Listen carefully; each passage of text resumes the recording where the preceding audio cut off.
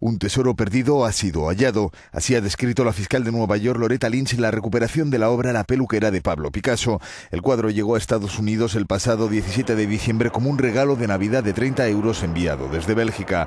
El paquete fue interceptado por las autoridades aduaneras y entregado a la unidad responsable del contrabando de obras de arte. Cuando la justicia dictamine su incautación, la peluquera podrá regresar a Francia, cuyo gobierno es el propietario legítimo. El cuadro formaba parte de la colección del Centro Georges Pompidou de París. Su ausencia fue detectada en 2001 cuando el museo recibió una petición de préstamo de esta obra cubista del genial pintor malagueño.